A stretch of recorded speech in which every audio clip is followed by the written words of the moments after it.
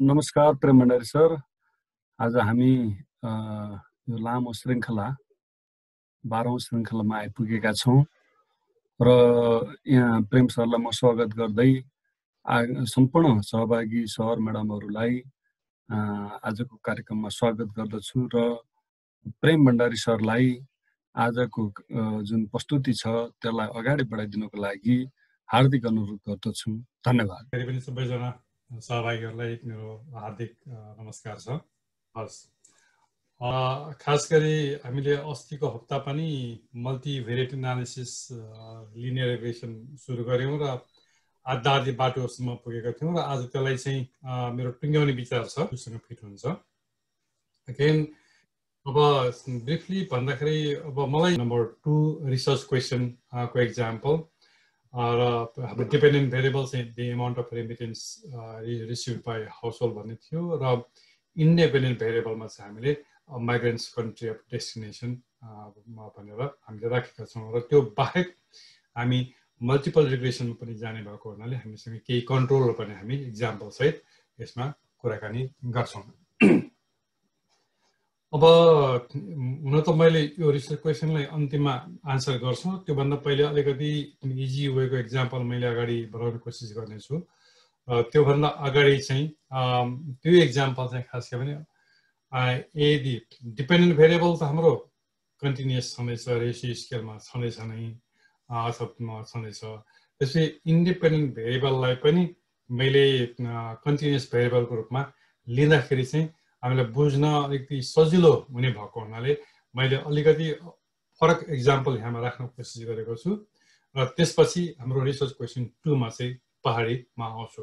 आउँछौँ यो multiple specially हामीले यो मल्टिपल रिग्रेसन चलाउने भएको हुनाले त्यसको इक्जाम्पल हामीले हेर्न कोसिस गर्ने भएको हुनाले नेट अफ अदर फ्याक्टर्स अथवा कन्ट्रोलिङ फर अदर फ्याक्टर्स र त्यो कन्ट्रोलिङ फर अदर फ्याक्टर्स भने त्यो अदर फ्याक्टर्स के के कन्ट्रोल गऱ्यौँ त्यही पनि हामीले चाहिँ राखिदिन पनि सकिन्छ।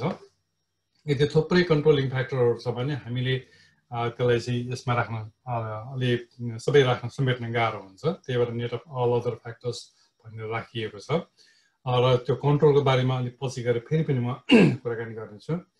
नल हाइपोथेसिसमा चाहिँ there is no association there is no correlation अथवा चाहिँ एकजना इन्डिभिजुअलले कुनै महिलाको बिहे गर्ने उमेर उपयुक्त उमेर कति वर्ष हो भनेर हामीले सोध्यौँ भने त्यो उमेरलाई कति वर्ष भनेर उहाँले भन्नुहुन्छ? पन्ध्र वर्ष सोह्र वर्ष बिस वर्ष बाइस वर्ष पच्चिस वर्ष त्यो कति वर्ष हो? त्यो त्यो कति भन्नुहुन्छ उहाँले? त्यो भन्ने कुरा चाहिँ उहाँ आफ्नै एजुकेसनमा चाहिँ डिपेन्ड गर्छ कि गर्दैन? यदि कम एजुकेसन भएको मान्छेले फरक रेस्पोन्स गर्ने अथवा बढी एजुकेसन भएको मान्छेले त्यसमा त्यसलाई चाहिँ फरक रेस्पोन्स गर्ने हुन्छ कि हुँदैन भनेर हामीले हेर्न खोजेको हो। त्यस कारण हाम्रो नलाएपछि चाहिँ देयर इज नो कोअर्डिनेसन भनेर हामी जाँदैछौँ। र के अरे अल्टरनेटिभ हाइपोथिसिसमा चाहिँ this two variables are correlated dependent and independent variables are correlated अथवा चाहिँ त्यो लेभल अफ एजुकेसन कति छ? त्यो अनुसार चाहिँ इन्डिभिजुअल दिने रेस्पोन्स चाहिँ फरक फरक पर्छ भनेर हामीले भन्न सकिन्छ। यसमा मैले सिम्पली कोरिलेसन मात्रै राखेको कारण के हो भने अब यो क्रस सेक्सनल स्टडी हो। र त्यसले तर अब एजुकेसन पहिले ह्याप्पी पहिले एजुकेसन इन्डिभिजुअलको एजुकेसन भइसकेको छ। त्यसपछि बल्ल हामीले यो इन्डिभिजुअल पर्सेप्सन हामीले लिन खोजेको हो। त्यसले गर्दाखेरि हामी सिधै गएर age at marriage for women age estimated अथवा प्रिडिक्टेड अथवा चाहिँ नट प्रिडिक्टेड भनेर पनि हामी जान सकिन्छ just way these are two of our hypothesis यही इक्जाम्पललाई लिएर मैले लिनियर रिग्रेसनको इक्जाम्पल दिन कोसिस गर्नेछु र यो अलिकति यो स्पेसिसको फेसियल फेस भ्यालु हो जसले स्पेसेस युज गरिसक्नु भएको छ जसले लिनियर रिक्रेसन अथवा मल्टिपल रिक्रेसन टेक्निकहरू युज गरिसक्नु भएको छ उहाँहरूलाई यो कुनै नौलो कुरो चाहिँ भएन। तर यदि जो जसलाई चाहिँ यो नयाँ छ उहाँहरूको लागि भने यो चाहिँ स्पेसिसमा हामीले थुप्रै भेरिएबलहरू यतातिर थुप्रै भेरिएबलहरू यहाँ छन्। र त्यो भेरिएबल मध्ये हामीलाई आवश्यक परेको भेरिएबल कुन कुन हो हामी त्यहाँबाट चुज गर्नुपर्ने हुन्छ।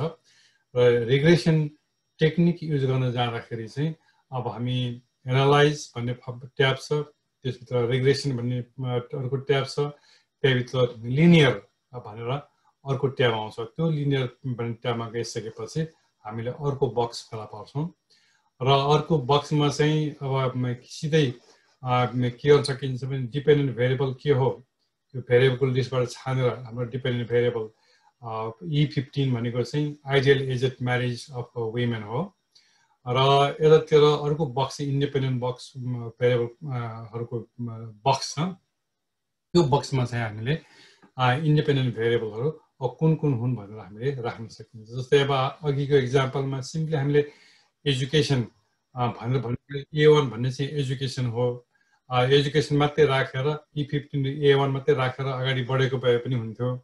र सँगसँगै यदि मल्टिभेट एनालिसिसको रूपमा जाने भने सँगसँगै एज जेन्डर पनि हामी सँगसँगै अगाडि राख्दै राख्दै जान्छौँ।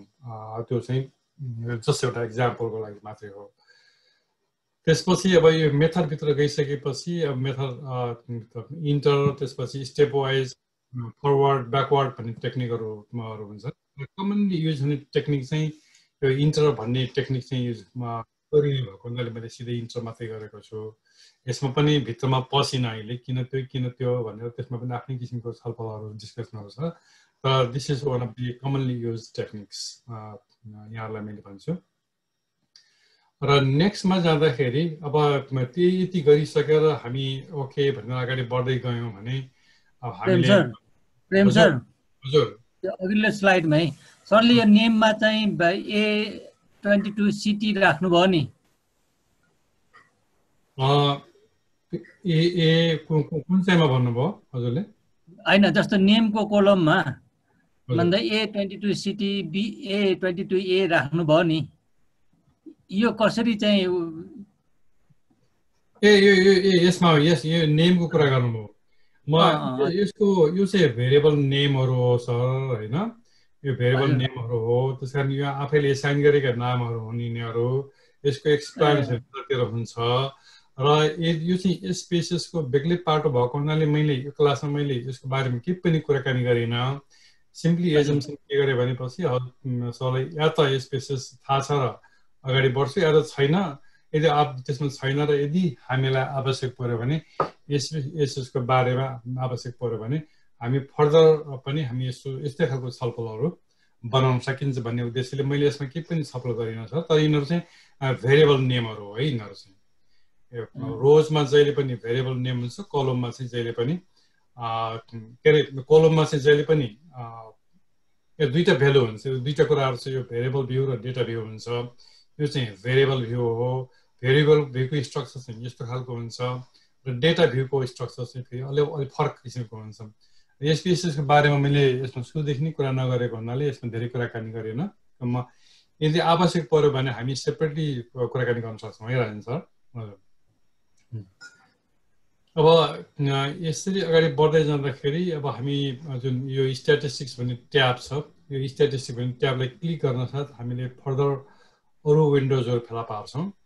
र त्यो विन्डोजहरूमा हामीलाई स्पेसिफिकली यो एनालिसिसको लागि चाहिने चाहिँ एस्टिमेट्सहरू हो अब हामीलाई इन्टरसेप्ट चाहिन्छ रिग्रेसन कोपिसनहरू चाहिन्छ त्यस कारण यो एस्टिमेट्सहरू हामीलाई चाहिन्छ।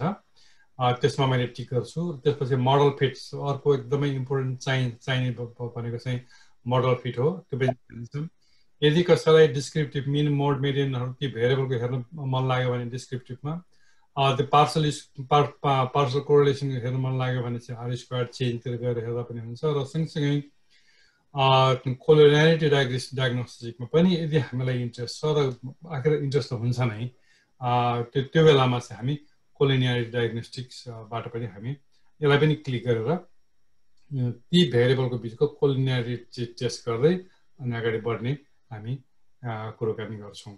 र खालि यो मैले इक्जाम्पल मात्रै राखेको हुनाले धेरै भित्र पसिन अहिले यस विशेषको भित्र पनि।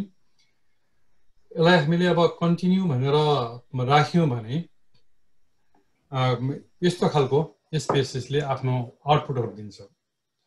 र यो यो आउटपुटहरूमा मैले यो हरेक स्लाइडको यो बायाँ साइडको प्यानलमा कसरी जाने त्यो ठाउँमा कसरी पुग्न सकिन्छ भन्ने किसिमको कुराहरू पनि यहाँ राखिदिइरहेको छु। यो युजफुल पनि हुनसक्छ। जस्तै एनालाइज ट्याबमा जाने रिग्रेसन थिच्ने त्यसै लिनियरमा जाने अनि choose dependent variable choose independent variable choose method go to statistics choose estimates and model fit click continue and then okay then you will get the output window भनेर मैले यो पनि यसमा राखिदिइरहेको छु इन केस अघिको कुराबाट हेल्पफुल भएन भने यसमा पनि आएर हेर्न सकि अब हामीले यो स्पेसिसको आउटपुट हो। अब सबभन्दा पहिले माथि चाहिँ अब भेरिएबल्स एडेड रिमुभड भन्ने खालको आउटपुट देखिन्छ। यसमा सिधै तल गएर हामीले हेऱ्यौँ भने हाम्रो डिपेन्डेन्ट भेरिएबल चाहिँ के रहेछ त? ई फिफ्टिन रहेछ हाम्रो dependent variable best age at women marry भन्ने चाहिँ हाम्रो डिपेन्डेन्ट भेरिएबल रहेछ। र all requested variables were enter together होइन? त्यो त्यो चाहिँ र त्यो अल रिक्वेस्टेड भेरिएबल के थियो त भन्दाखेरि हामीले सुरुको यो इक्जाम्पलमा मैले अघि मेरो तिनटै भेरिएबल डिपेन्ड इन्डिपेन्डेन्ट लिस्ट देखाए पनि यो चाहिँ मैले बाइभेरेट लेभलको रिग्रेसन मात्रै गर्न खोजिरहेको छु अथवा सिम्पल लिनियर रिग्रेसन मैले गर्न देखाउन खोजिरहेको छु। यसमा एजुकेसन भन्ने भेरिएबल मात्रै राखियो। यो चाहिँ राख्नु पछाडि के भने मेरो मेन उद्देश्य भनेकै त्यो ideal aged marriage for women whether that is associated with education of individuals who respond to this question भन्ने भएको हुनाले उहाँहरूको लेभल अफ एजुकेसन हो तर त्यो लेभल अफ एजुकेसन चाहिँ हामीले नम्बर अफ इयर्स अफ स्कुलिङमा मेजर गरेका छौँ त्यो पनि अब रेसियो स्केलमै भएको हुनाले अब नो क्लास अथवा चाहिँ एक वर्ष गएको दुई वर्ष गएको पन्ध्र वर्ष गएको भन्ने number of years of schooling राखेको हुनाले यसलाई चाहिँ हामीले क्याटेगोरीमा देखिँदैन पहिलो कुरा यो म यसलाई फर्दर एक्स इन्टरप्रिटेसनमा पछि पनि जान्छु।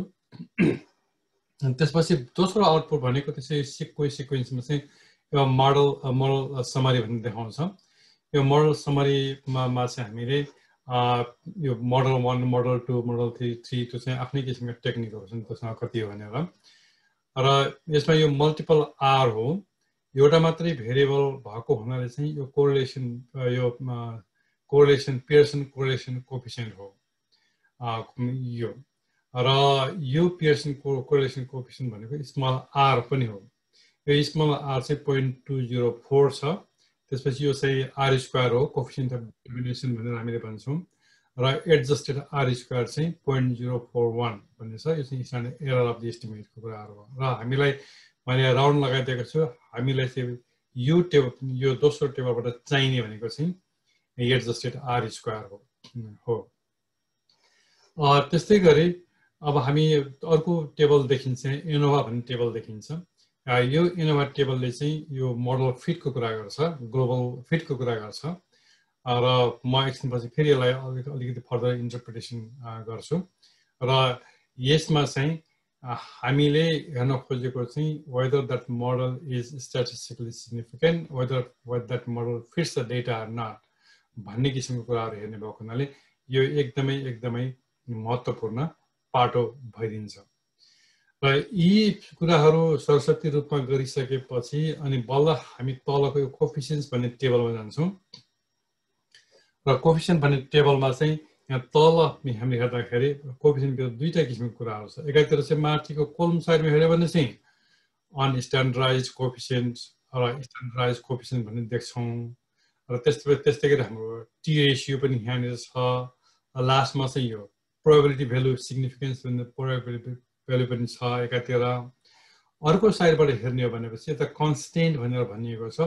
त्यो कन्सटेन्ट भनिएको चाहिँ इन्टरसेप्ट हो। अघिको मैले इक्वेसनमा जुन इन्टरसेप्ट भनेर भने भने त्यो इन्स इन्टरसेप्ट चाहिँ यो कन्सटेन्ट हो। र हामी हाम्रो इन्ट्रेस्टको भेरिएबल भनेको जुन यो एजुकेसन हो। एजुकेसन हो। र यी तलका चाहिँ रेगुलेसन कोफिसियन्टहरू हुन्। र जस्तै यो इन्टरसेप्ट हाम्रो कति भन्दाखेरि nineteen point two eight five भन्ने देखियो this is statistically significant although we are not that interested हामी स्पेसिकली हामी सोसल साइन्समै भन्नुपर्छ मैले चाहिँ। भन्दाखेरि चाहिँ हामी यो कन्सटेन्टमा अथवा इन्टरसेप्टमा धेरै चाहिँ त्यति इन्ट्रेस्टेड हुँदैनौँ। हाम्रो इन्ट्रेस्ट भनेको चाहिँ डिपेन्डेन्ट यो रेगुलेसन कोपिसन हो।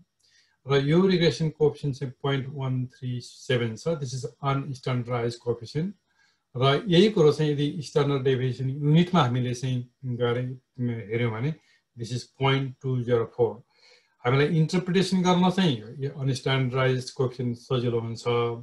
र हामी कम्पेरिजन गर्नु पऱ्यो भने चाहिँ स्ट्यान्ड स्ट्यान्डर्डाइज अथवा बेटा कोपिसन यो भनेर भनिएको चाहिँ एसपिएसएसले यो चाहिँ हामीलाई सजिलो हुन्छ। र यतातिर चाहिँ level of significance level sorry level of significance यो हामीले पी भेल्यु नै यहाँ दिएको हुनाले यसमा लेभल अफ सिग्निफिकेन्स अब आफूले डिटर्माइन गर्ने हो।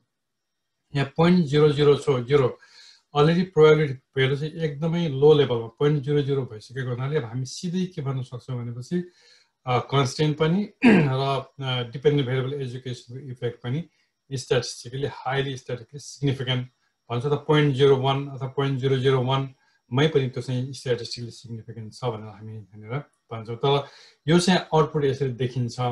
एउटा अलिकति म भित्र पसेर फेरि यही कुरालाई म फेरि रिपिट गर्छु अगाडि।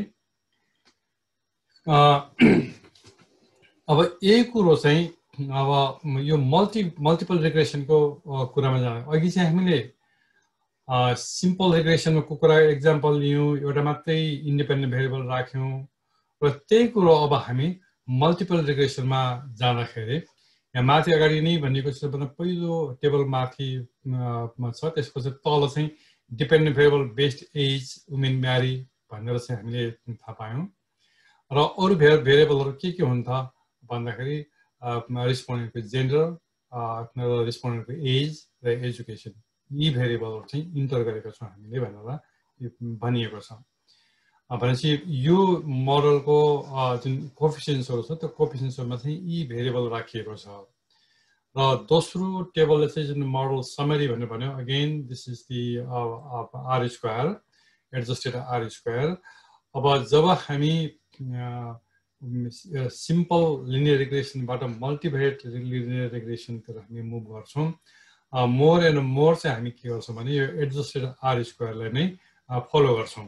र यसले चाहिँ स्याम्पल साइजलाई पनि एडजस्ट गर्छ र सँगसँगै नम्बर अफ भेरिएबल्सलाई पनि एडजस्ट गर्ने भएको हुनाले आर स्क्वायर भन्दा पनि एडजस्ट आर स्क्वायर हामी बढी फोकस गर्छौँ। र यो के हो भन्ने कुरा इन्टरप्रेसनमा फेरि एकछिनपछि आउँछु है यहाँलाई म। के के छ भन्ने कुरा मात्रै मैले यहाँ भन्दैछु। त्यसै गरी मैले यो एनोभा टेबल पनि अघि पनि देखाए जस्तै हो। अब अघि युनिभेरिएट युनिभेरिएट नै भनौँ। त्यसै एउटा मात्रै इन्डिपेन्डेन्ट भेरिएबल हुँदाखेरि two two hundred twenty six F value थियो भनेपछि यो चाहिँ घटेर वान थर्टी फोर छ। यो घट्नै पर्छ भन्ने पनि छैन बढ्न पनि सक्छ घट्न पनि सक्छ यिनीहरू चाहिँ। तर this is what we have र still this is statistically significant र अब तल गइसकेपछि अघि एजुकेसनको मात्रै हामीले कुरा गर्दै थियौँ भने अब रेस्पोन्डेन्ट एज र रेस्पोन्डेन्ट जेन्डरको बारेमा पनि अब हामी कोफिसियन्सहरू यहाँ भेट्दैछौँ र अब अघिको हाइपोथेसिस अनुसार हाम्रो इन्ट्रेस्ट अनुसार चाहिँ हामीले हेर्न खोजेको के थियो भन्दाखेरि एजुकेसन अनुसार चाहिँ individual response to idealized marriage चाहिँ भेरी गर्छ कि गर्दैन भन्ने कुरा हामी हेर्न खोज्दै थियौँ। त्यतिखेर चाहिँ एजुकेसनको मात्रै इफेक्ट बाइभेट कोरिलेसन मात्रै हेर्दैथ्यौँ र त्यो बेलामा चाहिँ त्यो कोफिसियन्ट यदि हामीले बाइभेटको जुन पियर्सन कोरिलेसन हामीले पहिले स्टडी गरेका थियौँ त्यही मात्रै गऱ्यो भने त्यसको कोफिसियन्ट र यो कोफिसियन्ट चाहिँ सेम नै हुन्छ केही पनि फरक पर्दैन तर त्यो बाइभेट कोरिलेसनमा चाहिँ हामी के गर्न सक्दैनौँ भन्दाखेरि यी अरू भेरिएबलको इफेक्टलाई हामी कन्ट्रोल गर्न सक्दैनौँ र अर्को कुरो भनेको चाहिँ त्यसमा चाहिँ हामी एसोसिएसन मात्रै हेर्छौँ र यसमा चाहिँ मोर चाहिँ हामीले हाम्रो डेटाको नेचर अनुसार चाहिँ हामीले भन्दाखेरि कज एन्ड इफेक्ट रिलेसनसिप भनेर भन्छौँ। त्यो रिलेसनसिप चाहिँ हामीले चाहिँ हेर्ने हेर्न सकिन्छ कन्ट्रोलिङ फर अदर फ्याक्टर्स। र यसमा आफ्नै आफ्नै किसिमका रिग्रेसन कोपिसन्सहरू छन् र यिनीहरूको आफ्नै लेभल अफ सिग्निफिकेन्स छ। यिनीहरूकोलाई अब म वान बाई वान म फेरि अगाडि गएर इन्टरप्रिटेसन गर्छु मैले। एक्सक्युज मी र यो स्ट्यान्डर्डाइज कोफिसियन्टको कुरामा आउँदाखेरि चाहिँ यिनीहरूको आफ्नै आफ्नै वेटहरू छन्। अब स्ट्यान्डर्डाइज वेटहरू छन्। कस्टको इफेक्ट चाहिँ डिपेन्डेन्ट भेरिएबलमा कति कति छ भन्ने कुरा चाहिँ these are standardize this are standardize भनेको चाहिँ हामीले स्ट्यान्डर्ड डेभिएसन युनिटमा चाहिँ यसको इन्टरप्रिटेसन हामी गर्नुपर्ने हुन्छ। र यो भनेको यो सबै फरक फरक कोपिसनहरू जुन छन् तिनीहरूको आफ्नो आफ्नो वेट हो। र दिज आर स्ट्यान्डर्ड वेट्स र हामीलाई कम्पेयर गर्न एकदमै सजिलो हुन्छ। सजिलो हुन्छ। म त्यसको बारेमा पनि अलिकति फेरि पछि यहाँहरूलाई कुराकानी गर्नेछु। अब हामीले यो अगाडिको टेबल त हामीले यहाँ हेरौँ। एक्सक्युज मी हेर्दाखेरि अब सबभन्दा पहिले हामी मेरो मैले यो एनालिसिस गरिसकेपछि अब म अगाडि मुभ गर्ने कि नगर्ने? मैले यो कोफिसनलाई इन्टरप्रिटेसन गर्ने कि नगर्ने? भन्ने खालको डिसिजन सबभन्दा पहिलो डिसिजन चाहिँ हामीले एनोभा टेबललाई लिएर हामी गर्नुपर्ने हुन्छ। र यो एनोभा एनोभा टेबलले सबभन्दा पहिलो स्टेप नै हामीले हाम्रो आँखा चाहिँ यो टेबलमा र यो लेभल अफ सिग्निफिकेन्समा जानुपर्छ। र त्यसले चाहिँ के भन्छ भने यदि यो एनोभा टेबलमा चाहिँ यो एफ भेल्यु चाहिँ स्ट्याटिस्टिकली सिग्निफिकेन्ट छ भनेपछि मात्रै हामी चाहिँ अगाडिका यी सबै चाहे त्यो यी कोफिसन्सहरू हुन् रेगुलेसन कोफिसन्सहरू हुन् अथवा चाहिँ जस्तो आरिसका कुराहरू होस् त्यसपछि मात्रै मिनिङफुल हुन्छन्। त्यसपछि मात्रै मिनिङफुल हुन्छन्।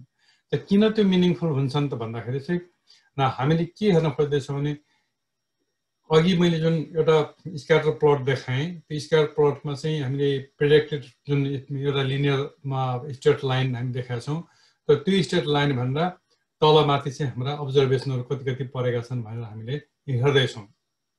यसले चाहिँ के देखाउन खोजेको रहेछ भने हामीले जुन अब्जर्भ गरेको भेल्यु हो त्यो भेल्युसँग चाहिँ त्यो ती भेल्युहरू प्रेडिक्टेड भेल्युसँग कति नजिक छन् अथवा कति टाढा छन्? हुन त यसमा चाहिँ यति नजिक यति टाढा भनेर भन्न पनि whether the data fits whether whether the model fits the data भन्ने खालको हो। हामी अगाडि बढ्न चाहिँ उपयुक्त छ कि छैन भनेर हेर्न कोसिस गर्ने हो। त्यस कारण हामीले पहिलो स्टेपमा चाहिँ this model is significant this is how we interpret है। र यति योभन्दा बढी हामीलाई चाहिँदा पनि चाहिँदैन। फेरि यो टेबलबाट बढी इन्फर्मेसन चाहिँदा पनि चाहिँदैन। This model is significant and fits the data. 8, P is 0.01. I, यो P is probability value is 0.01 र यो आफै पोइन्ट जिरो वानमा भइसकेपछि पोइन्ट जिरो फाइभमा अटोमेटिकली हो र त्योभन्दा पनि तल अझ गइसके पर पनि हामी पोइन्ट जिरो जिरो वानमा पनि यो चाहिँ स्ट्याटिस्टिकली सिग्निफिकेन्ट छ भनेपछि अब हामीलाई चाहिँ के भने we have strong reason to believe that the effects or the relationship that we observed in the following tables, they are good for interpretation. भन्ने कुरा हामी चाहिँ बुझ्छौँ। यदि यो स्ट्याटिस्टिकली सिग्निफिकेन्ट नभएको भए हामी तलको कोफिसन्सहरू चाहिँ सिग्निफिकेन्ट भए तापनि we do not care about any other results हामी पहाडी आयो मुभ गर्नै पर्दैन। त्यस कारण यहाँहरूले मेरो अन्डरस्ट्यान्डिङ मेरो बुझेको र मैले एप्लाई गरेको चाहिँ टेक्निक सबभन्दा पहिलो कुरो चाहिँ के भने यो इनोभा टेबल हेर्ने।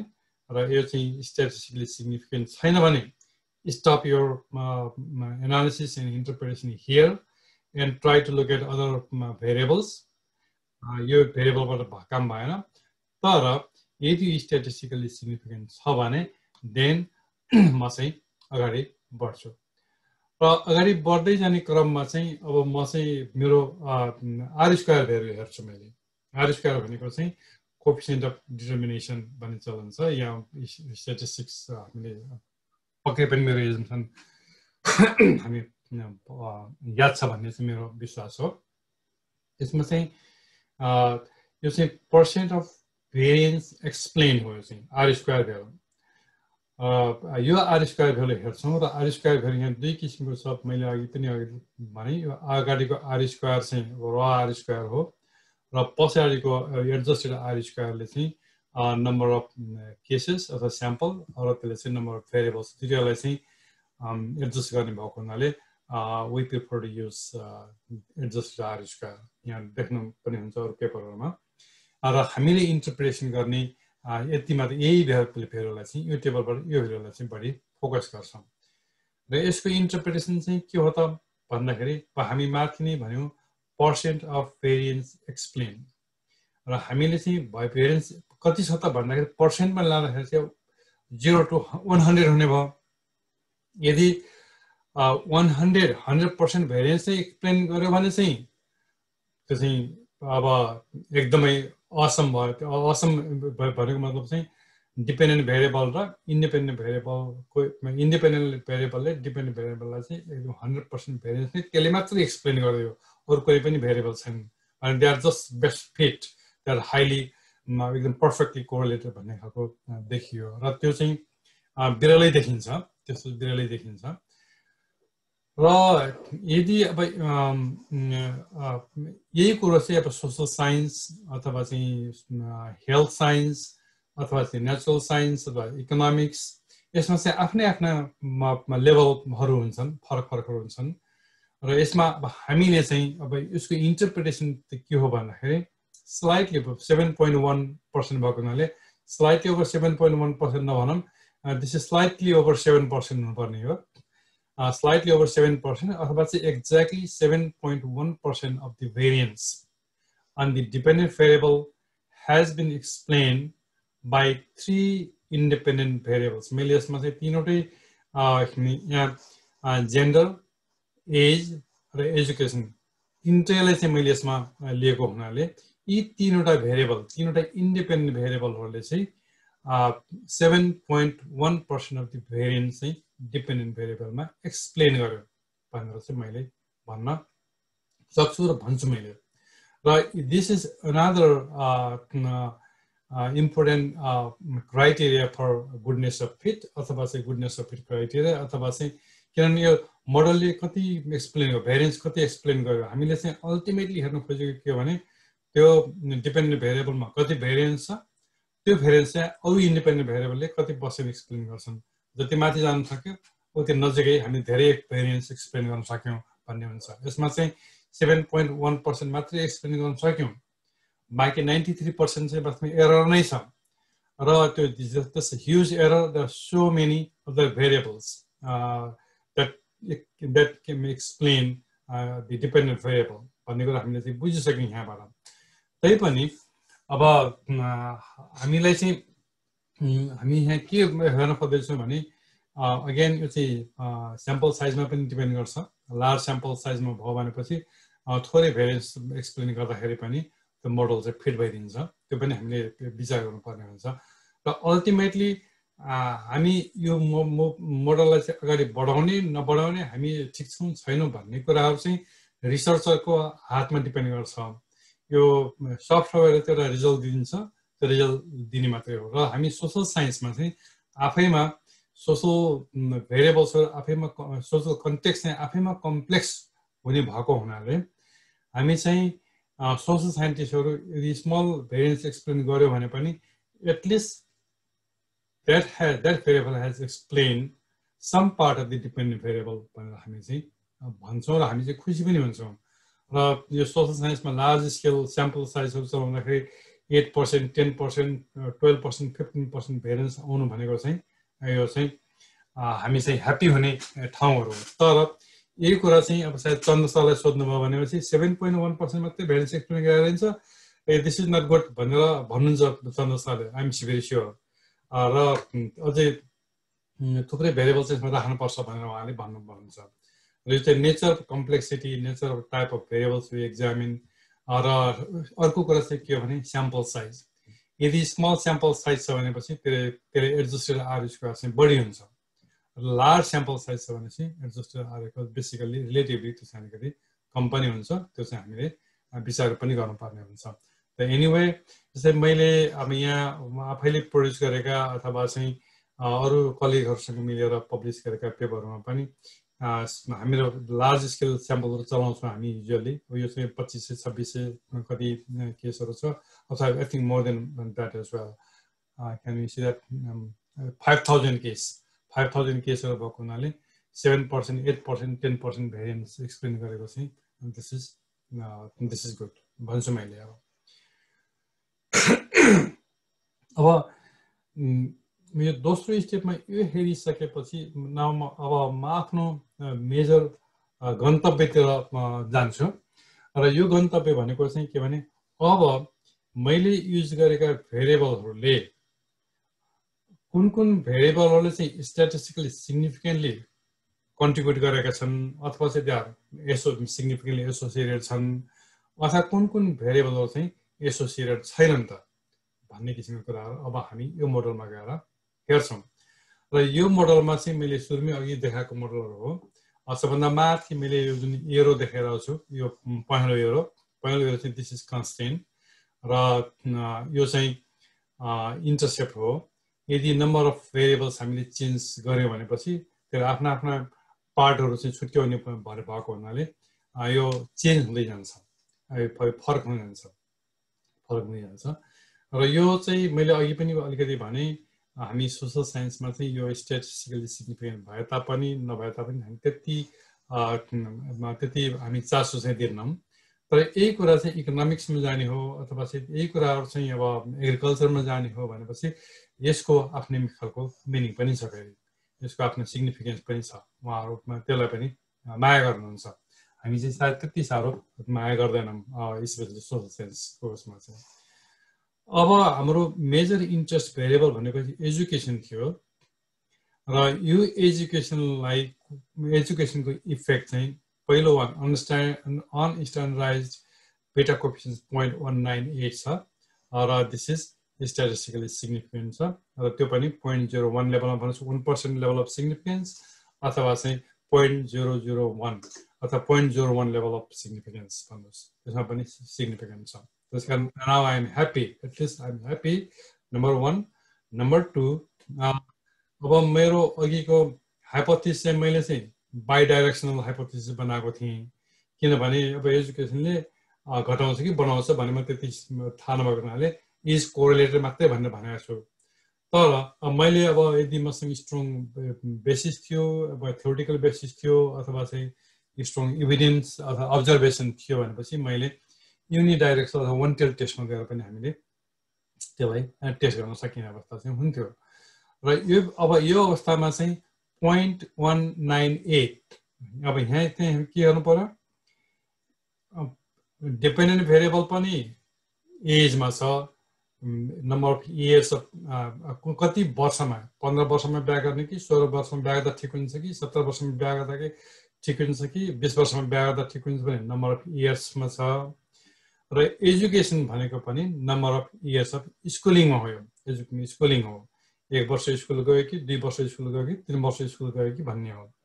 त्यस कारण यो पोजिटिभ कोप्सन भएको हुनाले आफैमै पोजिटिभ भएको हुनाले अब हामीले के देख्यौँ भनेपछि दे आर पोजिटिभली कोरिलेटेड अथवा चाहिँ एजुकेसन बढ्दै गयो भने त्यस्तो रिस्पोन्डेन्टले रिस्पोन्ड गर्नुपर्ने। महिलाले कति वर्षमा बिहा गर्नु हुँदो रहेछ भन्ने कुरा कति भन्नुहुँदो रहेछ त बढ्दै बढ्दै जाँदो रहेछ पोजिटिभली बढ्दो रहेछ।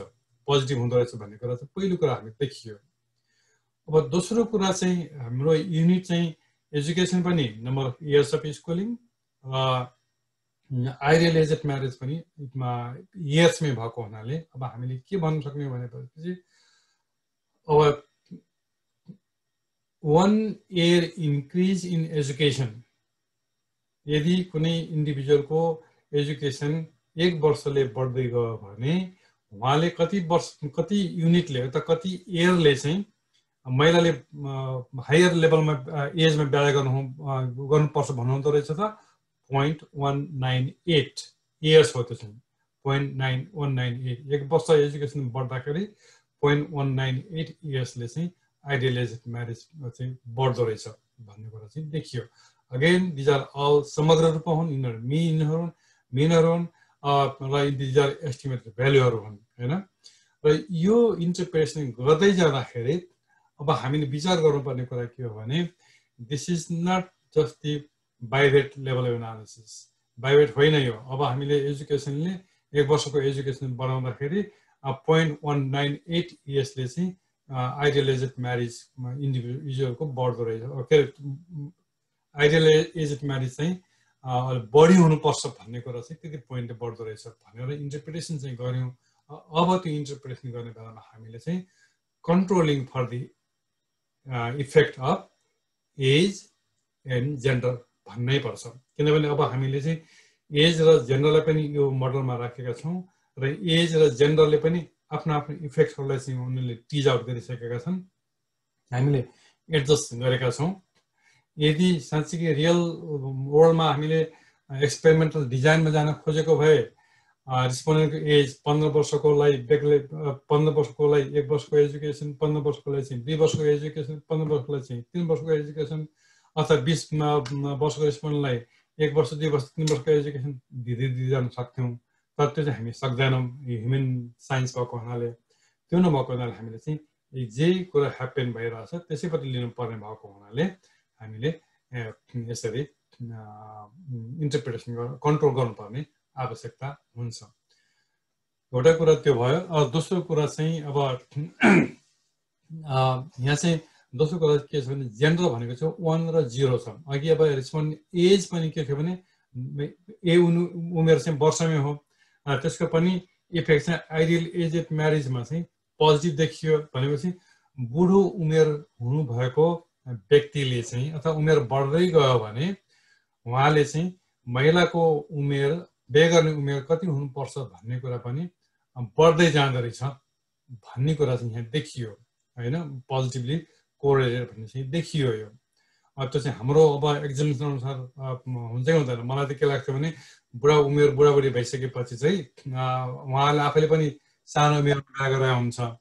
त्यसले गर्दा होइन छोराछोरीले चाहिँ सानै उमेरमा गर्नु ठिक हुन्छ माथि यो बिग्रिसकेको बेलामा चाहिँ गर्न हुँदैन। भन्ने पनि कतिपयको एजेन्सन हुनसक्छ। भन्ने हिसाबले चाहिँ त्यसरी पनि लिन सकिन्थ्यो होला। तर now this is something different र अर्को कुरा चाहिँ now we here in the third one this is one zero one is female and two is male र वान जेरो उसमा हुँदाखेरि पनि अब फिमेलले दिने रेस्पोन्स चाहिँ मेलले दिने रेस्पोन्स भन्दा चाहिँ बढी रहेछ है। त्यो बढी उमेरमा चाहिँ बिहा गर्नु पर्नु पर्दो रहेछ भनेर चाहिँ महिलाहरूले भन्नुभयो यहाँनिर। देखियो। र again these are controlling for the effects of other variables एजको इफेक्टलाई इन्टरप्रिटेसन गर्न जानु थाल्नुभयो भने controlling for education and gender र जेन्डरको रिलेसनसिपलाई चाहिँ अथवा इफेक्टलाई चाहिँ इन्टरप्रिटेसन गर्ने हो भने कन्ट्रोलिङ फर अथवा adjusting for net of age and education भनेर त्यसैले हामीले जानुपर्ने हुन्छ। यतातिर। र यी तिनवटै भेरिएबल चाहिँ स्ट्याटिस्टिकली सिग्निफिकेन्ट पनि छन् यहाँ अब। यसै क्रममा चाहिँ अब यहाँ अलिकति म यो बिटा स्ट्यान्डर्डाइज बेटा कोपिसनको पनि कुरा गर्छु। स्ट्यान्डर्ड बेटा कोपिसनको अघि हामीले सिधै स्ट्रेट फरवर्ड रूपमा चाहिँ के भन्यो भने एक वर्ष एजुकेसन बढ्यो भने त्यस बढ्दाखेरि त्यस्तो इन्डिभिजुअलले पोइन्ट वान नाइन एट इयर्सले चाहिँ महिलाको बिहे गर्ने उमेर उपयुक्त हुन्छ भनेर भन्नु हुँदो रहेछ। Controlling for age and gender भनेर हामीले भन्न कोसिस गऱ्यौँ तर अब यो चाहिँ स्ट्यान्डर्ड राइज युनिट भएको हुनाले चाहिँ अब के भयो? नाउ वी क्यान यसमा interpret in different way one standard deviation increase in education increases the response to ideal aged marriage by 0.294 standard deviation unit. त्यसरी हामी यो गर्न सक्छौँ र यो अघि यहाँ एजुकेसन चाहिँ पनि एजमा छ रिस्पोन्ड एज पनि एजमा छ जेन्डर चाहिँ वान जिरो भएको हुनाले चाहिँ यिनीहरू आफैमा डिफ्रेन्ट डिफ्रेन्ट युनिटहरूमा चाहिँ छन् तर अब यो स्ट्यान्डर्डाइज डेभिसन स्ट्यान्डर्डाइज डेभिसन युनिटमा आइसकेपछि अब तिनीहरूको वेट चाहिँ नाउ वी क्यान कम्पेयर कुन चाहिँ एजुकेसनको इफेक्ट चाहिँ बढी रहेछ र रिस्पोन्ड जेन्डरको चाहिँ त्यो सेकेन्डमा रहेछ एजको चाहिँ एकदम कम रहेछ भनेर हामी त्यो कम्पेयर पनि गर्न सकिन्छ। तर युजली हामी इन्टरप्रिटेसनमा चाहिँ यसमा जाँदैनौँ। अगाडिकै कोपिसन लिएर इन्टरप्रिटेसन गर्छौँ। तर either way if you are happy to go with either way that is totally fine त्यसमा कुनै पनि कुन तरिकाले अरूलाई बुझाउन सजिलो हुन्छ त्यो बाटो मात्रै हामीले खोज्ने हो। अब केही कुराहरू यसमा गरेँ मैले र अर्को कुराहरू चाहिँ मैले बेसिकल्ली यहाँ यहाँनिर आउँदाखेरि भन्नुपर्ने के हो के भने जस्तै एजुकेसन एज र जेन्डर एजुकेसनको इफेक्टलाई हेर्दाखेरि मैले एज र जेन्डरलाई एउटा इक्जाम्पलको रूपमा मैले यहाँ कन्ट्रोल भेरिएबलमा राखेँ। यसको मतलब यो होइन कि हामीले हामीसँग डिस्प्लेमा भएका सबै भेरिएबललाई मोडलमा हालिदिने जुन जुन भेरिएबल चाहिँ सिग्निफिकेन्ट छ त्यो चाहिँ तान्ने भन्ने चाहिँ होइन। कुनै कुनै त्यो टेक्निकहरू पनि छ। त्यो त्यो त्यो टेक्निक पनि छ त्यस्तो गर्ने प्र्याक्टिस पनि छ। म टोटली छैन भन्दिनँ मैले। तर मेरो अप्रोच अथवा मैले सिकेको अप्रोच मैले जानेको अप्रोच चाहिँ के हो भनेपछि त्यो एज भन्ने भेरिएबल चाहिँ किन त्यसमा राख्ने? त्यो किन कन्ट्रोल गर्ने त? भन्दाखेरि number one that independent variable is somehow associated with my dependent variable त्यसकारण त्यसले त्यसको पनि आफ्नो इफेक्ट हुन्छ र त्यसको इफेक्ट चाहिँ मैले टिज आउट गर्नुपर्छ। छुट्याउनुपर्छ छुट्याउनुपर्छ भनेर मैले त्यो राखेको त्यस कारण I have logic I have theoretical logic specially अब त्यसमा थ्योरिटिकल लजिक पनि के हो भनेपछि अब मेरो अहिलेसम्मको हेरिजलले जे देखाए पनि मेरो अघिसम्मको हन्स मेरो चाहिँ के थियो भनेपछि हाम्रो जस्तो सोसल सोसाइटीमा चाहिँ बुढाबुढी मान्छेले मैले अघि पनि बुढाबुढी मान्छेले चाहिँ पक्कै पनि छोराछोरीको उमेर चाहिँ ए सानै उमेरमा बिहा पनि हुन्छ भन्नुहुन्छ कि भन्ने चाहिँ लाग्छ मलाई तर सायद यसको इफेक्ट चाहिँ अझै हामी हेर्दै गयौँ अरूलाई भेरिएबल कन्ट्रोल गर्दै गयौँ भने यसको इफेक्ट पनि जान पनि सक्छ। त्यो पनि हामीले हेर्नुपर्ने हुन्छ।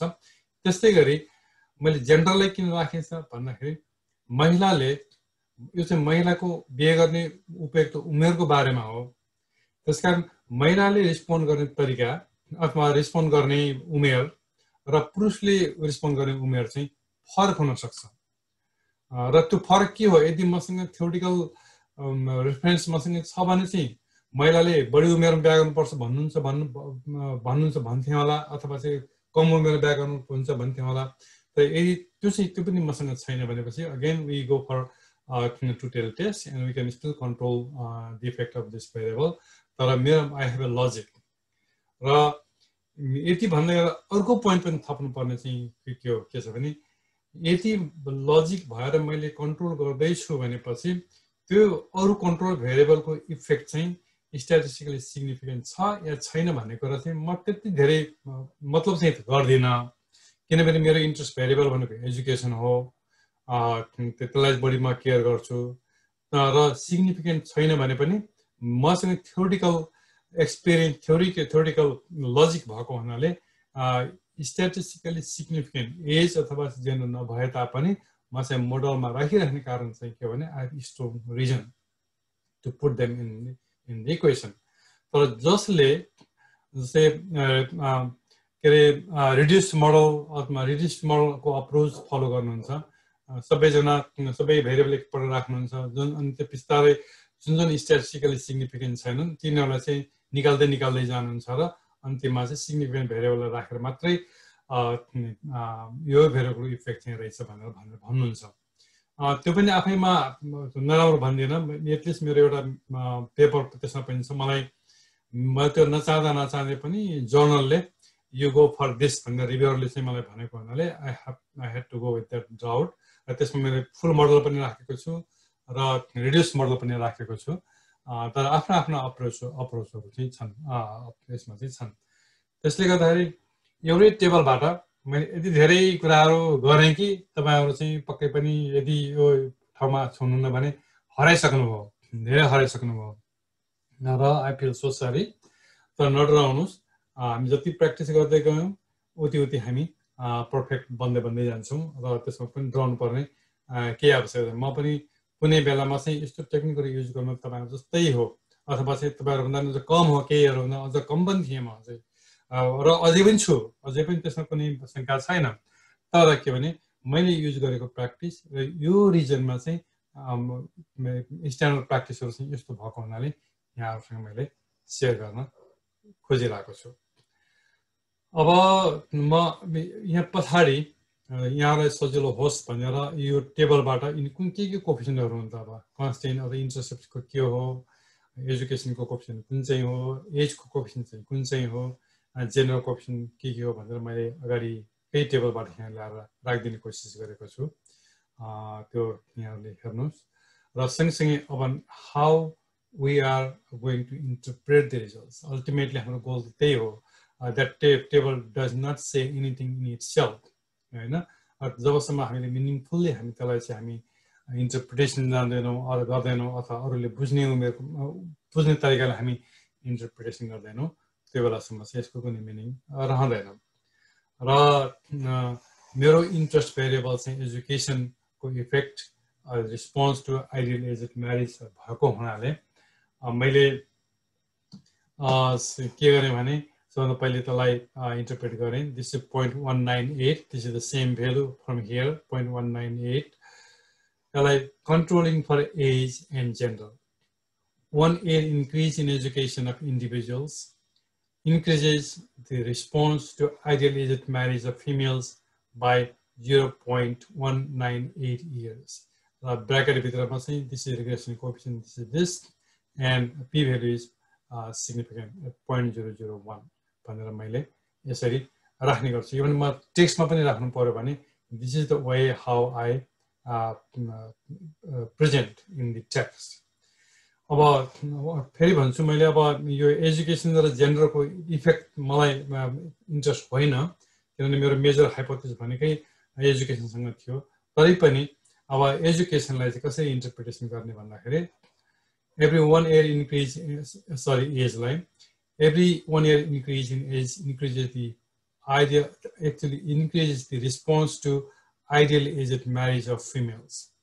Um, ideal age नै बढाउने होइन कि अब त्यो the response of those individuals that response to ideal aged marriage of uh, sorry, oh yeah, yeah, of females by 0.019 years. This is again the same coefficient and net of education and gender भने पनि हुन्छ controlling for age and gender भने पनि हुन्छ for the effect of uh, uh, agent accurate uh, education in general these are commonly used um, terminologies technologies.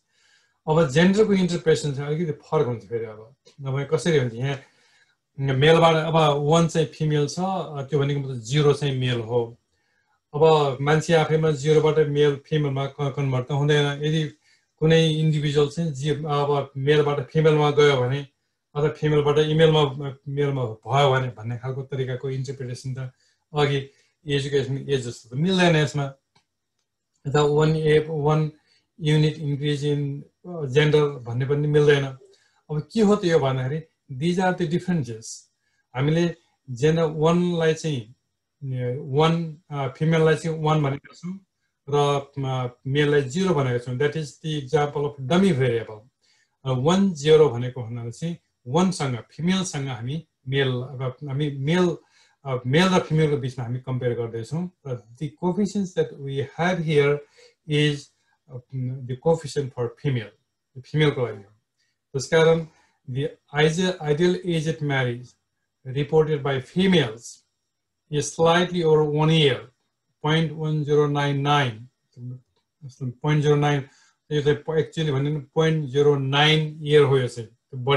बढी कति हो भन्दाखेरि पोइन्ट जिरो नाइन इयर हो स्लाइटली अब actually slightly over one year भन्दा पनि पोइन्ट जिरो नाइन इयरले चाहिँ बढी भएको हो फिमेलभन्दा compare to that reported by males net of education and age भनेर हामीले इन्टरप्रिटेसन गर्नुपर्ने हुन्छ। अथवा चाहिँ साधारण अर्थमा भन्यो भने मेलले रेस्पोन्ड गर्नुभन्दा मेलको भन्दा चाहिँ फिमेलहरूले चाहिँ आफैले महिलाहरूले चाहिँ बढी उमेरमा बिहा गर्नुपर्ने रहेछ भनेर भन्नुहुँदो रहेछ भनेर हामीले भन्न खोज्ने हो भन्न खोजेको हो त्यस कारण यसरी हामी चाहिँ इन्टरप्रिटेसन हामी गर्छौँ किनभने यसमा यसमा लिँदाखेरि चाहिँ के भन्छ फिमेलको भेल्यु जिरो हुन्छ। सरी सरी मेलको भेल्यु जिरो हुन्छ। त्यो मेलको भेल्यु चाहिँ जिरो हुने भएको हुनाले फिमेलको भेल्यु चाहिँ point one zero nine nine भनेर हामी देख्न सकिन्छ। र यही कुरो मैले यहाँ पनि इक्जाम्पलमा राखिदिइरहेको छु मैले। ठ्याक्कै अब कसरी एस्टिमेट हुन्छ यो? वा डिपेन्डेन्ट भेरिएबलको प्रेडिक्टेड भेल्यु डिपेन्डेन्ट भेरिएबल अब हामी जुन स्टेट लाइन हामी देखाएको थियौँ प्रेडिक्टेड भेल्युको स्टेट लाइन लिनियर रिग्रेसनमा त्यो कसरी एस्टिमेसन हुन्छ त भन्दाखेरि Y hat this is the predicted value of Y यो चाहिँ इन्टरसेप्ट हो यो चाहिँ एजुकेसनको रिग्रेसन कोपिसन हो त एजको रिग्रेसन कोपिसन हो र जेन्डरको रिग्रेसन कोपिसन हो। त्यस कारण अब यहाँ इक्जाम्पल हेर्नुहोस् त यदि एज एजुकेसन चाहिँ जिरो नपढ्नु भएको इन्डिभिजुअल हुनुहुन्छ बिस वर्षको हुनुहुन्छ र उहाँ महिला हुनुहुन्छ यदि स्कुलै नजानु भएको बिस वर्षको महिलाले चाहिँ कति वर्ष भन्नु हुँदो रहेछ अन एन एभरेज भन्दाखेरि त्यही माथिको इक्वेसनमा फिट गर्दै जाँदाखेरि यहाँ महिला भएको हुनाले लास्ट जेन्डरको हो यो यो जेन्डर कलममा चाहिँ हामीले चाहिँ वान भनेर राख्यौँ यहाँ।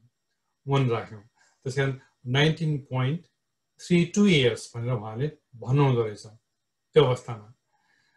भने यो चाहिँ एभरेज आएको हो। यसमा चाहिँ अब्जर्भ चाहिँ फरक फरक हुनसक्छ तर दिस इज एभरेज यो एभरेज भएको ठाउँ त्यसरी हामीले बुझ्नुपर्छ। अब त्यस्तै गरी सेम टाइपको एजुकेसन भएको बिस वर्षकै मेलले चाहिँ कति वर्ष भन्नुहुँदो हुँदो रहेछ त eighteen point two three years भने यसको डिफ्रेन्स चाहिँ nineteen point three two minus eighteen point two three that should be one point zero zero nine nine all the values are similar भनेपछि यो one point zero zero zero nine nine value चाहिँ हुँदो रहेछ भनेर हामीले यसरी चाहिँ estimated value पनि यसरी निकाल्छौँ र इन्टरप्रिटेसन गर्ने तरिकाहरू पनि यसरी हुन्छ। अब म चाहिँ यो ब्रिफली अब यो युनिभेरिटको टेबल कसरी रिपोर्ट गर्ने हामीले पहिले भनिसकेका थियौँ। बाहिरको पनि टेबल कसरी रिपोर्ट गरिन्छ भनेर पहिले पनि भनिसकेका थियौँ र अब अघिकै इक्जाम्पलकै टेबललाई चाहिँ हामी पेपरमा अथवा रिपोर्टमा सब्मिट गर्नु पऱ्यो भने अथवा चाहिँ रिपोर्ट गर्नुपर्ने अवस्था भयो भने कसरी रिपोर्ट गर्छौँ त भनेर यहाँ मैले इक्जाम्पल पनि दिएको छु।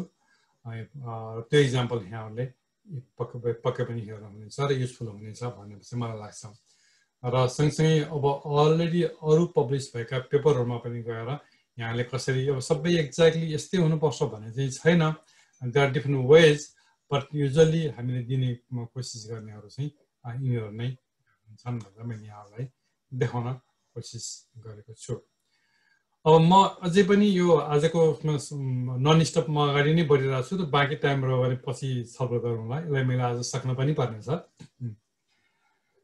अघि मैले अब अलिकति यहाँले सम्झिनु पर्ने मैले यो स्लाइडमा चाहिँ रातो रातो लेटरमा चाहिँ राख्न खोजेको चाहिँ के भने चाहिँ अलिकति केयरफुल्ली मोर एटेन्सन दिनुपर्ने कुराहरू चाहिँ के छ त अब? किनकि डिपेन्डेन्ट भेरिएबल त हाम्रो कन्टिन्युस नै भयो रेसियो स्केलमै भयो। तर इन्डिपेन्डेन्ट भेरिएबल चाहिँ हाम्रो केमा हुन सक्ने भए कुनै कन्टिन्युस अथवा रेसियो स्केलमै पनि हुन सक्ने भए कुनै चाहिँ नोमिनल स्केलमा पनि हुने भए अथवा चाहिँ अर्डिनल स्केलमा पनि हुने भए। भनेपछि जस्तै अघिको इक्जाम्पलमा एज र एजुकेसन चाहिँ हामीले कन्टिन्युस स्केलमा मेजर गरेका थियौँ रेसियो स्केल मेजर गरेका थियौँ। र जेन्डर भनेको चाहिँ नोमिनल स्केलमा छ मेल फिमेल छ। त्यो अवस्थामा मेल र फिमेल दुइटा मात्रै क्याटेगोरी भएको हुनाले वान जिरो गऱ्यौँ द्याट वाज मच इजियर होइन? सजिलो थियो। अब यदि अब हामीले रिसर्च क्वेसन टूलाई हेर्ने हो भने त त्यहाँ चाहिँ हामीले डेस्टिनेसनको बिचमा कम्पेरिजन गर्न खोजिरहेछौँ त्यस कारण त्यो डेस्टिनेसन चाहिँ नेपाल छ इन्डिया छ मिडल इस्ट छ युरोप अस्ट्रेलिया अमेरिका छ त्यसै अदर एसिया भन्नेहरू पनि छ। अब कसरी त्यसलाई इन्टरप्रिटेसन गर्ने त अब? भन्ने कस कसरी मोडलमा एनालिसिसमा कसरी राख्ने र इन्टरप्रिटेसन कसरी गर्ने भन्ने इक्जाम्पलहरू भएको हुनाले मैले पहिले चाहिँ सिम्प्लिफाइड भर्सन इक्जाम्पल यहाँलाई प्रस्तुत गरेँ।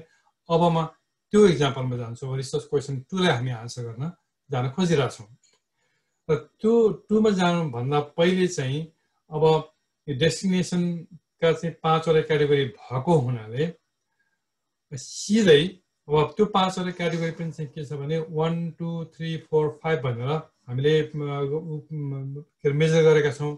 One Nepal two India Middle East भनेर राखेका छौँ। यदि लिनियर रिग्रेसनको अघि गएको जुन एसपिसिएसको जुन भेरिएबल राख्ने ठाउँ छ त्यो ठाउँमा गएर मैले यो भेरिएबललाई सिधै राखिदिएँ भने माइग्रेन्स डेस्टिनेसन कन्ट्रीलाई जुन कन्ट्रीलाई चाहिँ पाँचवटा क्याटेगोरीमा डिभाइड गरेको छ वानदेखि फाइभसम्म गरेको छ त्यसलाई सिधै राखिदिएँ भने त्यसले यो भेरिएबललाई चाहिँ एउटा रेसियो स्केल भेरिएबल छ कन्टिन्युस स्केल भेरिएबल मान्छ। वानलाई चाहिँ सानो मान्छ र फाइभलाई चाहिँ ठुलो मान्छ। नेपाललाई सानो मानिदिने भयो अथवा चाहिँ हामीले कसरी कोड गरेका छौँ र अदर एसियालाई चाहिँ यदि फाइभ गरेका छौँ भने त्यसलाई ठुलो मानिदिने भयो। त्यस कारण कन्टिन्युस स्केलमा यसले इरिगेसन कोफिसियन दिन्छ। र त्यो चाहिँ आफैमा एकदमै रङ हो। द्याट इज टोटल्ली रङ र त्यसलाई हामी कुनै पनि तरिकाले चाहिँ नेपाल भनेर इन्डियाबाट भयो अथवा गयो अथवा इन्डियाबाट मिडल इस्टमा गयो भनेपछि त्यो त्यसरी हामी इन्टरप्रिटेसन गर्न मिल्दैन। त्यस्तो बेलामा चाहिँ डमी भेरिएबलको कन्सेप्ट यहाँनिर आउँछ। र त्यो डमी भेरिएबलको कन्सेप्ट भनेको चाहिँ अब यी क्याटेगोरीहरूलाई चाहिँ हामीले वान भर्सस जेरोमा चाहिँ इन्डिभिजुअल भेरिएबल क्रिएट गर्ने अब। अब यहाँ पाँचवटा क्याटेगोरी छ। यो पाँचवटा क्याटेगोरीमा चाहिँ यदि हामीले रेफरेन्स क्याटेगोरी कुन चाहिँलाई बनाउने हो कोसँग कम्पेयर गर्ने हो त्यसलाई छोडेर बाँकीलाई बाँकी चारवटालाई मात्रै हामीले डमी भेरिएबल बनाएर एनालिसिसमा राखे पनि हुन्छ। तर मैले सिम्पल कुनै बेला कुनै हेर्न मन लाग्ला कुनै पनि बेला अर्कोसँग कम्पेयर गर्न मन लाग्ला। त्यसले गर्दाखेरि मैले पाँचवटै डमी भेरिएबलको इक्जाम्पल यहाँनिर राखिदिएको छु र त्यो बेलामा चाहिँ यस पेसेसमा चाहिँ रिकर्ड भेरिएबल गरेर त्यो रिकर्डबाट चाहिँ one if that individual that migrant is in Nepal and else is zero भनेको चाहिँ अरू कुनै पनि देशमा गएको छ भनेपछि त्यसलाई चाहिँ जेरो गर भनेर हामीले भन्नुपर्ने हुन्छ। त्यसै अर्को डमी भेरिएबल के हुन्छ इन्डियाको लागि? One if that individual that migrant is in India and else if अरू कुनै पनि ठाउँमा गएको छ भने त्यसलाई चाहिँ जेरो गर्दै भन्नु पऱ्यो अनि थर्डमा मिडल इस्टलाई वान भर्सेस एल्स त्यसै युरोपलाई त्यसपछि अदर एसियालाई भनेर पाँचवटा यसमा हामीले भेरिएबलहरू अब क्रिएट गऱ्यौँ।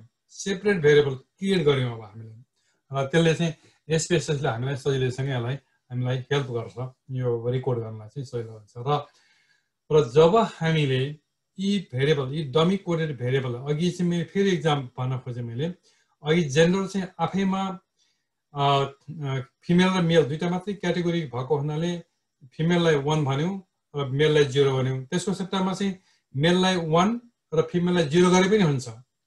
ओन्ली केले फरक पार्छ भन्दाखेरि इन्टरप्रिटेसन गर्दाखेरि हामी कुन डाइरेक्सनमा जाने भन्ने कुरो मात्रै हो। त्यस्तै गरी अब यसमा पनि के हुन्छ भने अब हामीले जुन भेरिएबललाई कम्पेयर गर्ने हो फेरि म ब्याक टु अघि जेनरलकोमा गएँ। मेललाई जिरो गरेको हुनाले हुनाले हामीले फिमेललाई मेलसँग कम्पेयर गर्दैछौँ त्यहाँ अब भनेको मतलब चाहिँ जेनरको भेल्यु वानलाई चाहिँ जिरोसँग कम्पेयर गर्दैछौँ।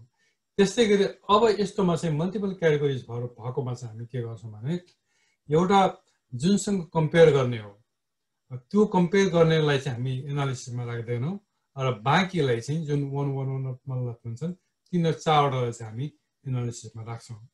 त्यो इक्वेसनमा सँगसँगै राख्छौँ। अब मानौँ इक्जाम्पल मैले चाहिँ अब नेपालमा गएका माइग्रेन्टबाट चाहिँ कतिपयतिहरूले भन्ने कुरा के अरे इन्डियामा गएको माइग्रेन्टले चाहिँ नेपालमा बसेको माइग्रेन्टको तुलनामा कति पायो भनेर कम्पेयर गरेँ अथवा मिडल इस्टमा गएको माइग्रेन्टले नेपालभित्र बसेको माइग्रेन्टभन्दा कति धेरै पायो र युरोप अस्ट्रेलियामा गएको माइग्रेन्टले नेपालमा बसेको भन्दा कति धेरै पायो भन्ने कुरा कम्पेयर गर्नु खोज्यो भने now my reference category is Nepal. नेपाललाई मैले रेफरेन्स क्याटेगोरी माने र बाँकी चारवटा भेरिएबललाई मैले इक्वेसनमा राखेँ।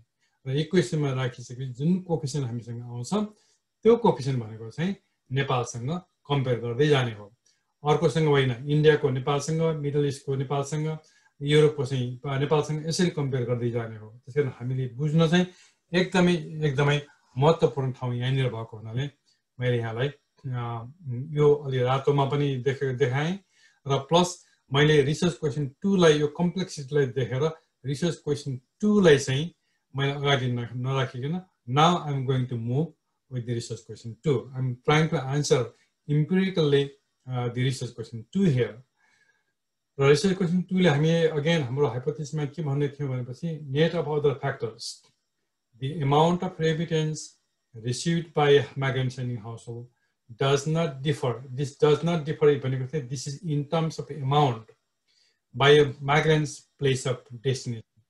कुन माइग्रेन्ट कुन चाहिँ कन्ट्रीमा जानुभएको छ भन्ने कुराले चाहिँ त्यो घरले कति पैसा पायो भन्ने कुरा फरक पर्दैन। भनेर मैले चाहिँ हाइपोथेसिस सेट गरेको थिएँ भने अब यदि मैले चाहिँ मलाई थाहा छैन कुन चाहिँ कन्ट्रीमा गएकोले चाहिँ बढी पठाउँछन् पठाउँदैन त्यो थाहा नभएको हुनाले it differs the amount differs भन्ने कुरा चाहिँ मैले भन्ने टेस्ट गर्न कोसिस गरेँ।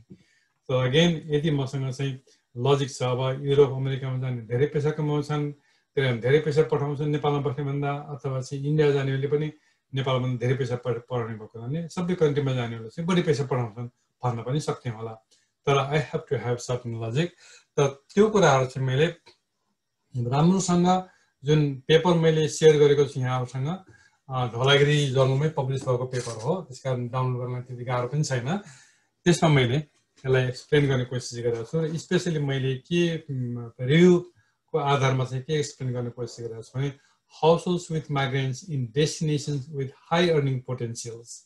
High earning potential in East, uh, Southeast Asia, North America, Europe, यी कन्ट्रीहरूमा जानेहरूले चाहिँ will report the higher amount of remittance received by received from migrants than those who are in countries with low earning potentials. Low earning potential, especially मैले यसमा खोजेको छु नेपाल हो नेपालसँग अरू कन्ट्रिजलाई कम्पेयर गरेर र यसमा मैले इन्डियालाई मैले मेन्सन गरेको छैन। India maybe very similar to Nepal भन्ने मेरो एजम्सन पनि हो। र यसरी राख्दै मैले अब अगाडि टेस्ट गरेँ। अघि मैले यो सबै स्पेसको अघिको आउटपुटहरूलाई मैले यहाँ देखाइनँ। र सबभन्दा पहिलो स्टेपमा मैले के यहाँलाई भनेको थिएँ भने यो इनोभा टेबलमा गएर यो मोडल फिट छ कि छैन भनेर हेरेँ।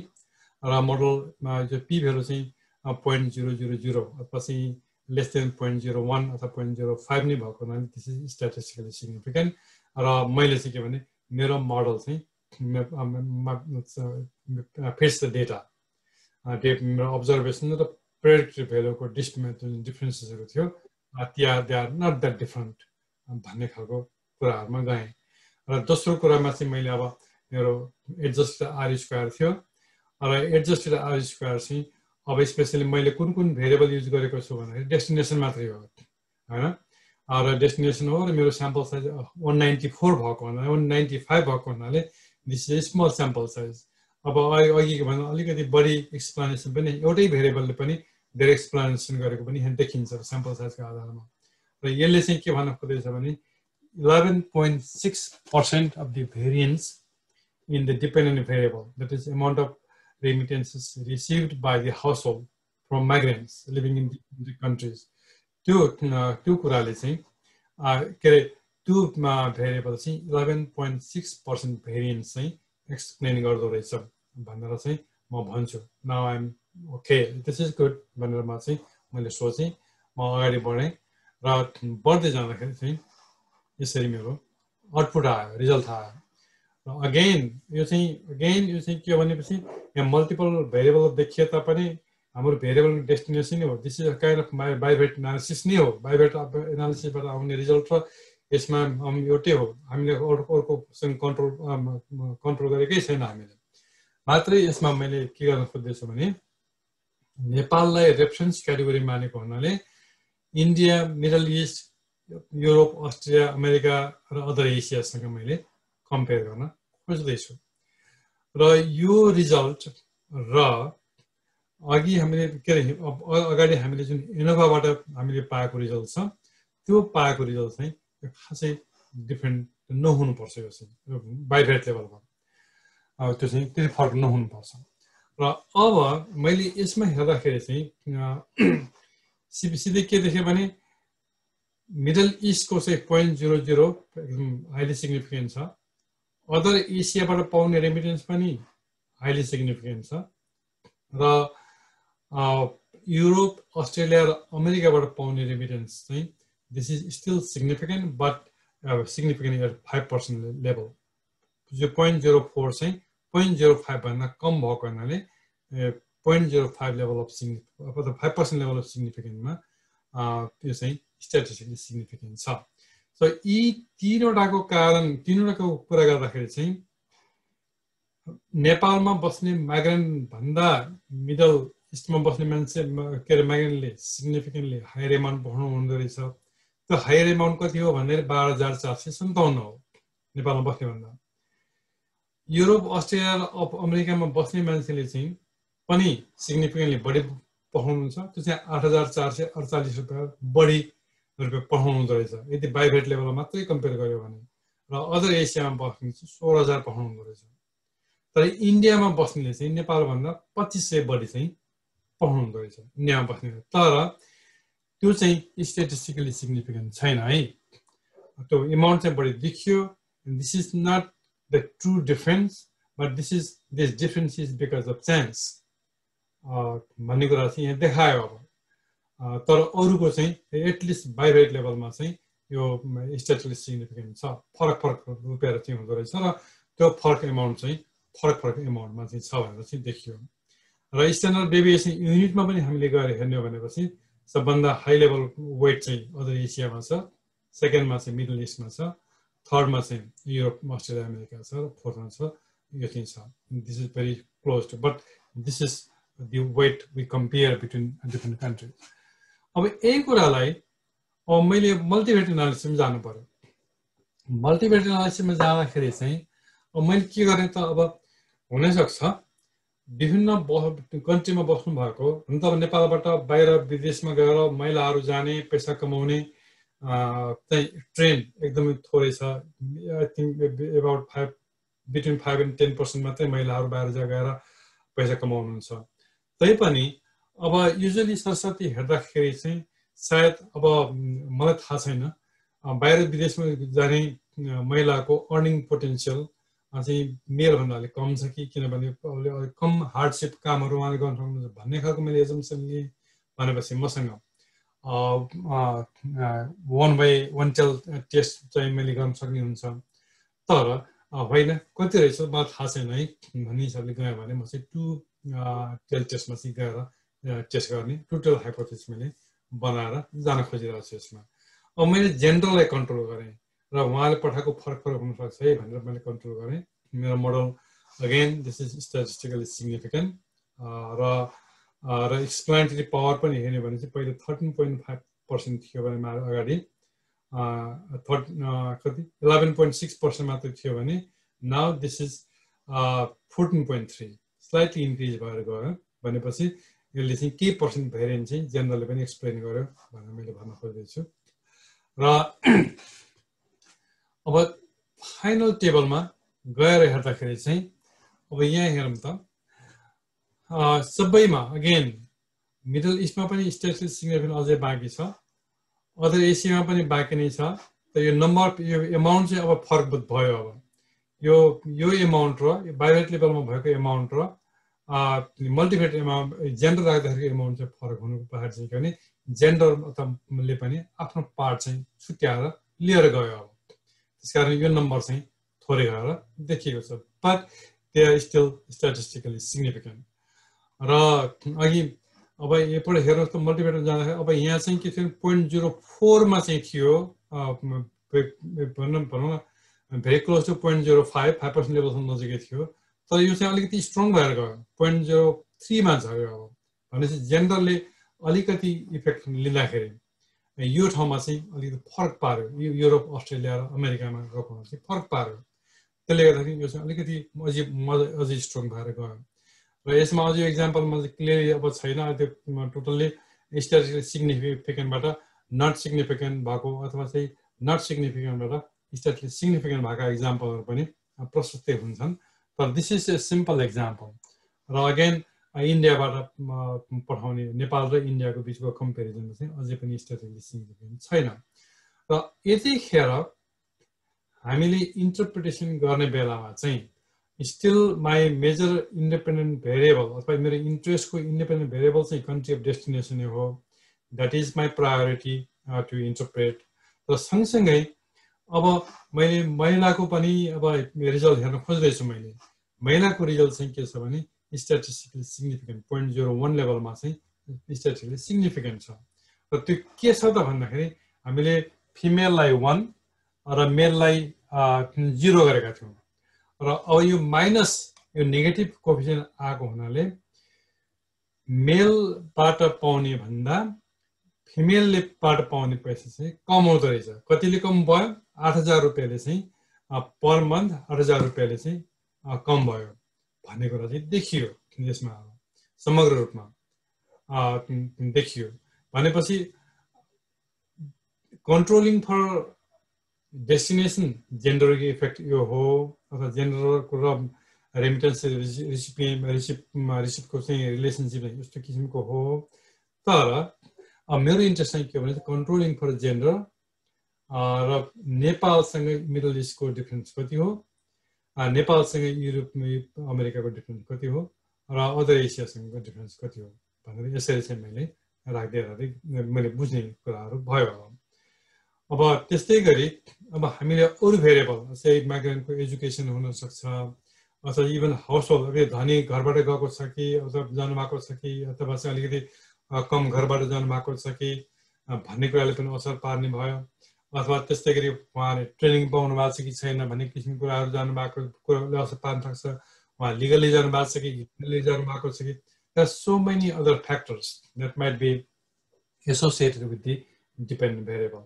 त्यो पनि हामीले चाहिँ नेट आउट गर्नुपर्ने भएको हुनाले बायोभेरिट एनालिसिसमा त्यो रिजल्टलाई हामीले विश्वास नगरिकन we have to go for multivariate analysis र सँगसँगै मल्टिभेरिट एनालिसिसमा जाँदाखेरि पनि हामीले विचार गर्नुपर्ने के हुन्छ भने जथाभावी भेरिएबल राखेर हुँदैन हामीलाई कुन चाहिँ लजिकल छ कुन चाहिँ लजिकल छैन त्यो चाहिँ हामी थाहा पाउनु पर्ने एकदमै जरुरी हुन्छ र कहिलेकाहीँ चाहिँ फेरि कहिलेकाहीँ होइन कि कहिलेकाहीँ चाहिँ के हुन्छ भने हामीले चाहिने भन्दा बढी भेरिएबलहरू चाहिँ मोडलमा राखिदिउँ अथवा एनालिसिसमा राखिदिउँ भने पनि त्यसले चाहिँ एप्रोप्रिएटली प्रेडिक्ट गर्न सक्दैन सक्दैन त्यो कुराहरू चाहिँ हामीले विचार गर्नुपर्ने हुन्छ र सँगसँगै अर्को त्योभन्दा अर्को सिरियस कुरा बुझ्नुपर्ने चाहिँ के हुन्छ भने इन्डिपेन्डेन्ट भेरिएबल हामीले चाहिँ इन्डिपेन्डेन्ट भेरिएबल र डिपेन्डेन्ट भेरिएबल चाहिँ रिलेसन छ त्यस कारण हामीले त्यसको इफेक्ट हटाउनुपर्छ भनेर इन्डिपेन्डेन्ट भेरिएबलहरू चाहिँ कन्ट्रोल भेरि भेरिएबलको रूपमा चाहिँ थप्दै गयौँ।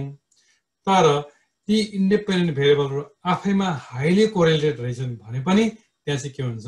समस्या हुन्छ। रिजल्ट हामीले जस्तो देखिने हो।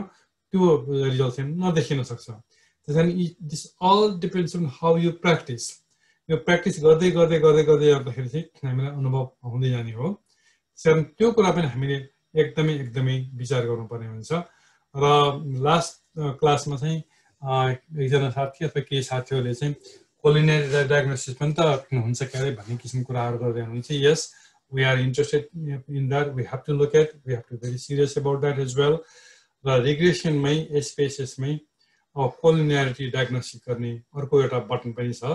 त्यो बटनमा क्लिक गऱ्यो भने हामी कोलिनियारिटी डायग्नोसिस हामीले गर्न सकिन्छ। यहाँ डिपेन्डेन्ट भेरिएबल छ इन्डिपेन्डेन्ट भेरिएबल छ र यहाँ एस्टिमेट्सहरू छ मोडल फिटको कुराहरू छ र कोलिनियरिटी डायग्नो डायग्नोस्टिक चाहिँ यसबाट हामीले गर्न सकिन्छ। र कोलिनियरिटी डायग्नोस्टिक्सको गर्दाखेरि चाहिँ यो रिजल्टमा मैले एज पनि थपेर गएको छु चाहिँ। यो रिजल्टमा चाहिँ यसमा टोलेरेन्स स्ट्याटिस्टिक्स अथवा चाहिँ भेरिएन्स इन्फ्लेसन फ्याक्टर भनेर दिन्छ। यी आफैमा एउटै एउटै खालका भेरिएबल हुन्। र यो भेरिएसन इन्फ्लेसन फ्याक्टर भनेको वान डिभाइडेड बाई टोलेरेन्स हो। त्यस कारण कसरी इन्टरप्रेट गर्ने भन्ने कुरा मात्रै हो। यसको बिहाइन्ड यसको स्ट्याटिस्टिक्स चाहिँ के छ?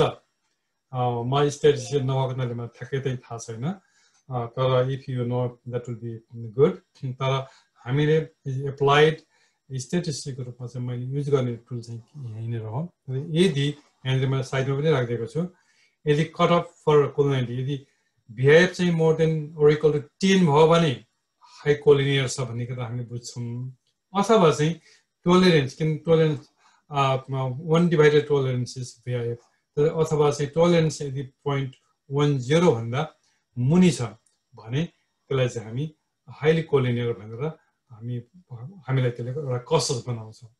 र यसमा दुई क्राइटेरिया टोलरेन्सबाट हेरे पनि अथवा चाहिँ भिएफ किन एकअर्काका उयोहरू हुन् तिनीहरू यसबाट हामी हाइली कोलिनियर चाहिँ देखिँदैन। त्यस कारण आइएम गुड भन्ने खालको भयो र मेरो मोडल चाहिँ ठिक छ भनेर म चाहिँ जान सक्ने भएँ। तर यदि हाइली कोलिनियर छन् भने कुन कुन भेरिएबल कोलिनियर छन्? किन कोलिनियर भए? अथवा अथवा किन हाइली कोलिनियर भए?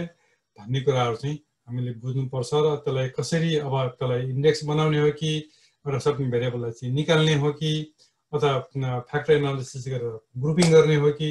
अल डिफ्रेन्ट टेक्निक्स त्यहाँ थुप्रो कुराहरू छ तर as as a quantitative analysis analyst we have to be careful about this things as well so अर्को कुरा सिम्पल टेक्निक्स यो ठाउँमा चाहिँ जानुभन्दा पहिले नै पनि जुन हामीले यदि पियर्सन कोरिलेसन दुइटा भेरिएबलको बिचको चाहिँ पियर्सन कोरिलेसन मात्रै पनि हेऱ्यौँ भने पनि त्यसले पनि हामीलाई एउटा इन्डिकेसन के छ भने दुइटा दिन्छ भने दुइटा भेरिएबल दुइटा इन्डिपेन्डेन्ट भेरिएबल आफैमा चाहिँ हाइली कोरिलेटेड छन् है त्यहाँ।